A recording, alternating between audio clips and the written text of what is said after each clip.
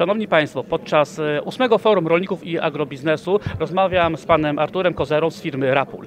E, Panie, Ra, panie, panie Arturze, e, w tym roku przyszły teraz śniegi, mrozy, e, zajmujecie się rzepakiem. E, Czy ten rzepak przezimuje? Chyba tak. Jak to wygląda? E, W tym roku rzepak jest generalnie w dobrej kondycji. Oczywiście mieliśmy na początku sezonu, jak zazwyczaj w naszych szerokościach geograficznych, bywa problemy z siewami, bo początkowo e, sierpień czy druga połowa sierpnia była dosyć ciepła, upalna, było gorąco. Następnie pojawiły się opady i e, część rolników niestety musiała uciekać w kierunku opóźnienia siewów do, e, nawet do pierwszej dekady września, ale e, rzepak jest w dobrej kondycji. A wytworzył też długie liście, prawda? Takie rośliny wyrosły dość e, duże. E, Czy stożki wzrostu wysko- wyskoczyły do góry, czy, i czy przezimuje przez to? Czy to y, zależy? To zależy przede wszystkim, bo takim dosyć często popełnianym błędem przez rolników jest zbyt duża ilość wysiewu. I te plantacje, które były wysiane zbyt, zbyt gęsto, jest tutaj ryzyko, pomimo regulacji, że te stożki zostały wyniesione zbyt wysoko i jeżeli nie będzie okrywy śnieżnej, y, mogą one wymarznąć. Natomiast myślę, że nie ma ich zbyt wiele. Natomiast te, które były wysiane w gęstości takiej no, optymalnej, no, pomiędzy 40 a 45 nasion na metrze kwadratowym, w tej chwili są w dobrej kondycji. No, oczywiście w tym roku mieliśmy e, presję ze strony pchełek e, przede wszystkim i e, jeżeli pchełki pojawiły się w tym początkowym e, okresie rozwoju, czyli fazie liścieni, no tutaj e, część planta- plantacji została zniszczona, natomiast jeżeli później, oczywiście rzepak potrafi kompensować te uszkodzenia przez pchełki. E, Śmietką e, było trochę, m, tej śmietki było w tym roku trochę mniej. E, Generalnie rzepak jest, można powiedzieć, bardzo dobrze przygotowany do zimy. Oczywiście zawsze pozostaje ten margines, e, margines na to, że jeżeli będą ekstrema pogodowe, szczególnie e, duże spadki temperatur, bez kory- okrywy śnieżnej, czy też pojawi się jeszcze dodatkowo wiatr, no to wtedy mo, może, może nastąpić wymrożenie niektórych plantacji. E, Mamy tak naprawdę ostatnio stosunkowo łagodne zimy.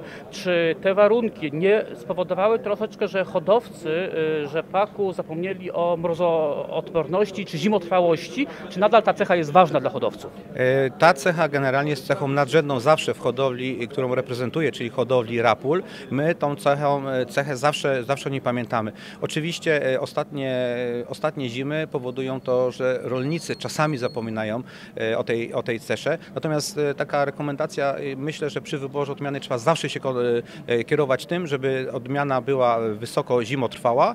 E, No i oczywiście później wchodzi cały pakiet innych pozostałych cech prozdrowotnych, ale też tolerancji. No, co, coraz częściej mówimy o zagrożeniach ze strony e, szkodników.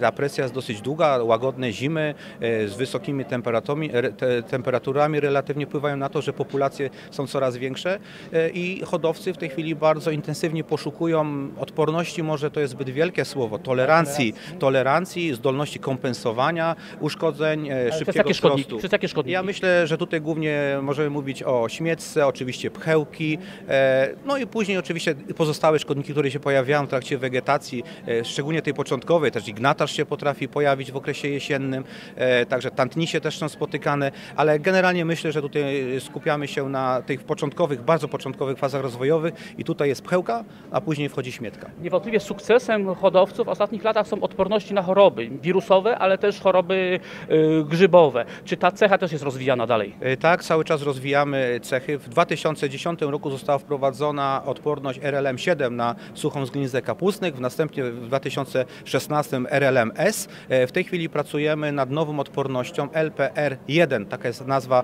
robocza. W tej chwili w procesie rejestracji już mamy takie, takie odmiany i myślę, że kolejny sezon LPR, y, na, na, na co jest odporność? To to jest, na, sucho- to jest na suchą zgniznę, w tej chwili mówię o suchej zgnizny, zgniźnie kapustnych i oczywiście pracujemy dalej. Też e, dużym zagrożeniem przy e, dużym areale uprawy rzepaku w Polsce jest e, kiła kapusty. Nad tymi odpornościami też w tej chwili nasi Z kiłą kapusty jest ten problem, pracują. że jest wiele patotypów w Polsce.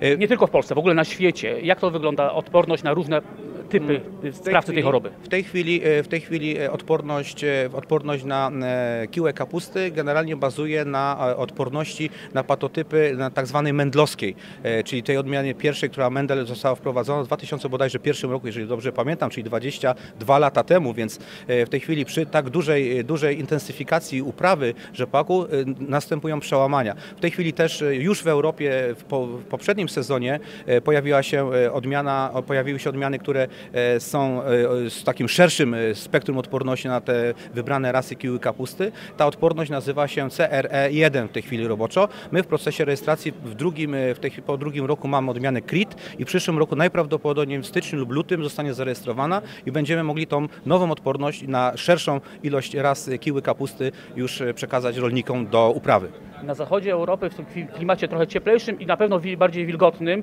e, z dużym znaczeniem ma wertycylioza i ostatnio znaczenia nabiera też cylindrosporioza, o której troszeczkę zapomnieliśmy. Czy tutaj też pomocne mogą być odmiany? E, Jak najbardziej. W tej chwili szukamy, e, może zbyt dużym słowem jest odporności, bo póki co na e, cylindrosporiozę, wertycilium i e, zgniznę twardzikową nie ma jako takich e, odporności, ale w tej chwili mamy odmiany, które już na rynku są, które charakteryzują się tolerancją polową, czyli w warunkach silnej presji ze strony czy wertycyliozy, czy cylindrosporiozy e, potrafią sobie z tą e, chorobą e, dosyć dobrze, dobrze radzić i one już są w tej chwili właściwie w sprzedaży. Tutaj mogę wspomnieć o takiej odmianie jak Jurek czy Temptation. One już te tolerancje polowe na te choroby oczywiście mają. Natomiast cały czas jednak tym cechą najważniejszą rzepaku jest plon, ale czy też jakość tego plonu, czyli zawartość różnych kwasów.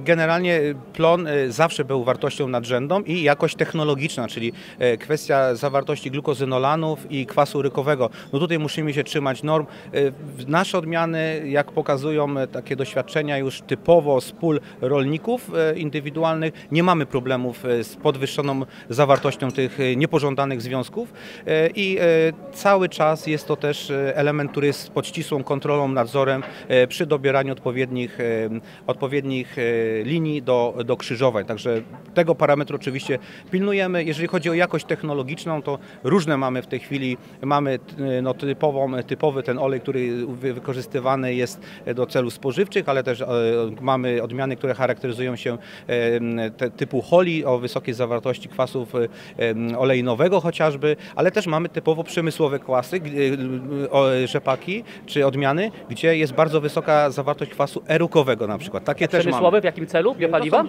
e, nie, niekoniecznie biopaliwa, to, to są cele różne przemysłowe, bardziej farmaceutyczne, jakiś taki przemysł ciężki. W tych e, obszarach e, te odmiany potrafią e, być wykorzystywane. Z tym, że tu jedna uwaga, generalnie tutaj musi być izolacja przestrzenna, musi być to plantacja pod, kon- pod kontrolą, bo pamiętajmy, że zawartość tych kwasów rukowych to jest generalnie, decyduje o tym, to, są, to jest cecha dominująca, więc przy, przy krzyżowaniach z samosiewami i tak dalej musimy pilnować, zwalczać te samosiewy, żeby nie pogorszyć jakości technologi- technologicznej później uprawianych typowo tych spożywczych odmian rzepaku na naszym rynku.